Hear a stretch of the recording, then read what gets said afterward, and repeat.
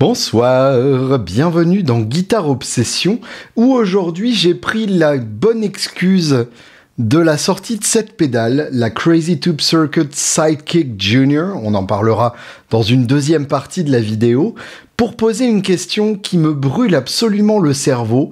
Est-ce que les années 80 étaient la pire décennie pour les sons de guitare et pour la guitare électrique en général? Alors j'ai résisté à l'envie de mettre un corps fluo pour être dans le thème de la vidéo et puis il se trouve que euh, mon corps est au pressing donc euh, j'ai mis ce que j'avais de plus proche d'un corps fluo dans ma garde-robe.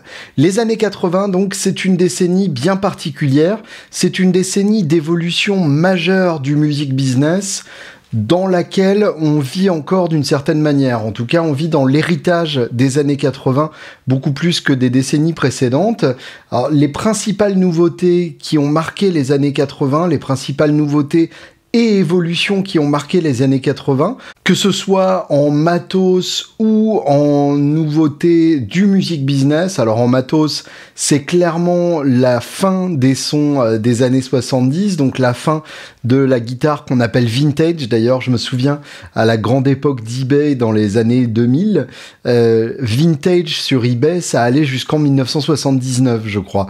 Donc c'est assez symbolique. 79, c'est l'arrivée de la reverb Lexicon 224, qui est une légende du studio et c'est la première fois qu'on peut avoir des réverbes euh, numériques de cette qualité-là. En 1980, on a la boîte à rythme Lindrum Lin LM1 qui pour le coup est euh, l'une des premières boîtes à rythme avec une personnalité aussi marquée. En 1981, le 1er août 1981, c'est le lancement de la chaîne musicale MTV qui change radicalement notre rapport à la musique. En 1982, c'est l'arrivée du compact disque, le CD, un nouveau support d'écoute de la musique qui va changer beaucoup de choses aussi. En 1983, on a le lancement du Yamaha DX7 qui est un synthétiseur qui va cartonner mais de manière complètement délirante et euh, qui sera l'un des instruments les plus vendus de la décennie 80 et certainement l'un des plus utilisés sur album aussi. Et en 1983, au NAM 1983, c'est l'arrivée de la norme MIDI, une norme numérique qui permet aux différents instruments MIDI de communiquer entre eux. C'est donc le début de la possibilité d'avoir des racks énormes où tous les éléments sont contrôlés par un même pédalier et switch en même temps de programme.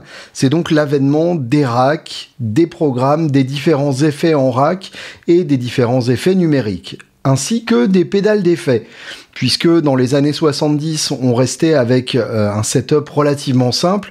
La plupart des guitaristes dans les années 70, c'était un Marshall Plexi, ou variant, mais il n'y en avait pas beaucoup, avec deux ou trois pédales éventuellement, toutes en amont évidemment. Euh, les, les pédales en question, c'était en général un booster ou un treble booster, une fuzz, une wah éventuellement un Face 90 pour euh, ceux qui étaient un peu euh, avant-gardistes à la fin des années 70, et puis un Ecoplex, et ça s'arrêtait là. À partir des années 80, on va avoir un vrai développement des pédales d'effet, des effets pour guitare, et euh, l'avènement du numérique aussi à partir de ces années-là.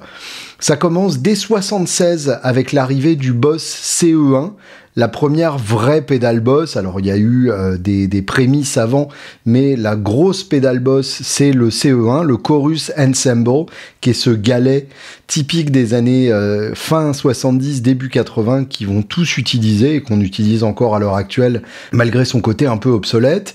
L'année suivante, en 77, c'est le lancement des Compact Pedals de Boss, donc le format euh, compact pédale qui a pas bougé depuis 1977, qui est toujours valable à l'heure actuelle et qui est toujours le standard à l'heure actuelle dont se sont inspirées toutes les autres marques. Et donc on a trois pédales qui sortent cette année-là qui marquent le début de cette série. En 1982, c'est le Rockman, ce demi-rack euh, purement analogique, qui propose un son d'ampli direct à l'enregistrement. C'est-à-dire qu'on n'a plus besoin euh, d'un micro devant l'ampli, on peut se brancher directement du Rockman dans la console. Et évidemment, il y en a qui vont pas se gêner, d'autant plus qu'il existe des versions avec chorus intégré. Donc là, carrément, c'est le son des 80s directement dans une petite boîte. En 1985, TC Electronics sort le rack 2290, qui est le rack de délai euh, hyper connu, qui est le standard par exemple pour The Edge, mais qui a été utilisé par des centaines d'autres grands guitaristes sur album. Et l'année suivante, en 86, c'est la marque Alesis qui sort le microverb. Alors c'est pas spécifiquement pour guitare, mais c'est le début de la démocratisation des réverbes numériques de studio et leur utilisation par les guitaristes que nous sommes. Ça va être évidemment une tendance qui va se confirmer de manière très euh, appuyée dans les décennies suivantes. Et c'est en ça que, pour moi, on est encore dans l'héritage du matos des années 80 à l'heure actuelle, puisqu'on a des pédalboards avec plein de pédales, on a des pédales numériques qui font plein de fonctions, Évidemment, ça c'est un héritage des années 80. Alors on n'a plus autant des gros systèmes en rack comme dans les années 80, mais finalement on se sert beaucoup d'effets numériques pour les réverbes hyper encombrantes, euh, comme la Shimmer qui est euh, ultra à la mode, qui est un héritage direct des années 80. On a encore des pédales programmables avec différents effets et on a encore cette approche dérivée des années 80 aussi de construire des sons de guitare avec des effets dessus pour avoir des textures qui ne sont pas des pures textures de guitare vintage entre guillemets. Et ça c'est vraiment un héritage des nouveaux guitares héros des années 80 qui vont redéfinir ce qu'on attend d'une guitare. Exit donc les Jimmy Page, Joe Perry, Angus Young de la décennie 70 qui pour le coup donc était en direct dans l'ampli avec très peu d'effets. Et euh, on a des guitaristes qui arrivent et qui réinventent le son de guitare. The Edge dans U2 évidemment, Robert Smith dans The Cure, Johnny Marr dans The Smith, Mandy Summers dans Police, Prince, Adrian Bilou dans ses différents projets avec les Talking Heads notamment. Bref, on a plein de guitaristes comme ça qui arrivent et qui réécrivent les règles du son de guitare. C'est en ça qu'à mon avis, les années 80 restent une décennie passionnante, même si effectivement on perd euh, ce qui fera donc plus tard euh, les années vintage, puisque dans les années 80, les années 70, c'était trop vieux, donc c'était pas encore vintage. Mais euh, dans les années 90, on va redécouvrir les années 70 avec une sorte de nostalgie prématurée. Et ça va devenir donc euh, la folie du matos vintage qui allait avec, dont on ne voulait pas dans les années 80. Faut pas oublier que la décennie 80, euh, il y a plein de guitares inestimables, des bursts ou, des strats des années 50 qui ont été massacrés avec des humbuckers à haut niveau de sortie ou des Floyd Rose, euh, ou même des, des, Les Paul Junior sur lesquels on a mis des X2N, mon dieu quelle horreur.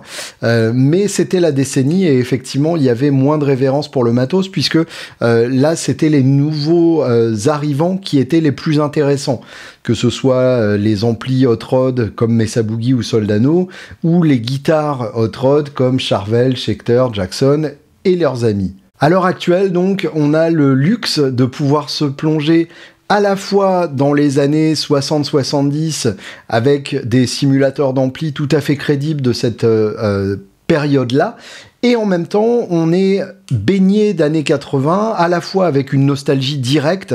Il y a certaines productions où vraiment c'est un hommage appuyé aux années 80, mais aussi en intégrant ces sons-là dans des productions plus modernes pour une approche hybride que je trouve assez passionnante. C'est justement là qu'arrive notre ami la Sidekick Junior de Crazy Tube Circuits, qui est un multi-effet au format pédale. On a trois sections donc, la section rose qui est une section de reverb, la section grise qui est une section de délai et la section bleue qui est une section de modulation. Depuis euh, le CE2 de Boss qui est sorti en 79 je crois, euh, le bleu c'est la couleur des chorus de façon absolument universellement acceptée. Donc euh, ces trois effets-là peuvent être combinés, on peut utiliser les trois en même temps et on peut les foot switcher individuellement. Alors si on a ce petit foot switch extérieur, on peut donc avoir un foot switch pour chaque effet, ce qui est hyper pratique. Sinon, si on l'a pas et qu'on est extrêmement triste, on peut choisir de foot switcher les modulations avec la reverb ou les modulations avec le délai. Et euh, l'autre effet, dans ce cas-là, se foot switch individuellement c'est pas très compliqué à utiliser. Euh, c'est la Sidekick Junior, donc il y a déjà eu la Sidekick en 2019, qui est une pédale beaucoup plus grosse avec trois foot switch pour le coup, mais qui a beaucoup moins d'effets intégrés. Là, il y a de nouveaux programmes qui sont absolument passionnants, donc c'est plus petit, mais ça a plus de possibilités on y gagne évidemment largement au change. Donc chaque section a ses effets absolument passionnants avec des petits switches, des poussoirs. C'est un peu le bordel, mais une fois qu'on a compris le principe, ça va très vite. La section de reverb, la première donc, est inspirée des reverbs d'Alesis dont je vous parlais tout à l'heure, de ces fameux programmes numériques qui sont d'abord prévus pour le studio, mais qui peuvent parfaitement s'adapter sur la guitare. On a donc trois reverbs plutôt classiques, plate, spring et hall. Et quand on appuie là, trois autres reverbs plus barrés. Donc euh, gated, la reverb avec un noise gate dessus, donc qui se coupe euh, assez brutalement. Exciter, qui est un, gros euh, hall, et Shimmer, évidemment, avec l'octave supérieure, un grand classique, mais qu'on adore.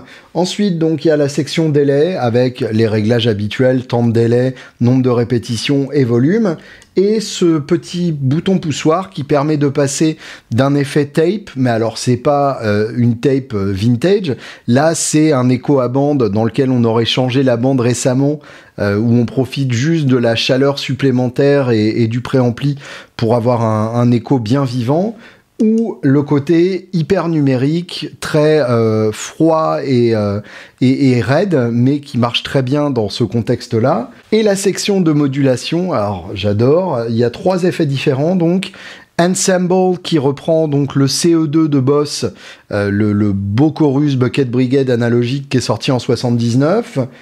Le Flanger qui reprend le BF2 de Boss, la, la petite boîte violette qui est sorti en 1980. Et Dimension, qui reprend une pédale moins connue de Boss, la DC2, euh, qui est sortie en 1985. Alors là, pour le coup, la Dimension, c'était une pédale avec quatre boutons poussoirs, et on choisissait son preset avec les, quatre boutons. On pouvait euh, appuyer sur les quatre en même temps, et ça faisait des, presets secrets. Euh, là, pour le coup, on a des réglages plus simples de vitesse et de profondeur. Ça tombe plutôt pas mal. Et c'est un chorus mais différent, plus statique, qui donne euh, de, l'ampleur au son. Donc c'est vraiment un son passionnant. Je vous propose qu'on se plonge sans plus attendre dans les profondeurs sonores de la Sidekick Junior. On peut évidemment la stacker avec euh, une distorsion pour un effet maximum, ce que je vais faire avec la Motherload de Crazy Tube Circuits, puisque c'est euh, une, une rate, donc la rate évidemment typique de cette époque-là aussi, il y en avait sur plein d'albums des années 80 où il n'y avait pas le Rockman. Et euh, je vais, pour chacun des quatre presets que je vais vous faire écouter, euh, je vous ferai d'abord écouter le délai seul, ensuite délai plus reverb, et ensuite délai plus reverb plus modulation, de façon à ce que vous puissiez bien entendre chaque effet individuel avant de vous noyer dans l'ensemble.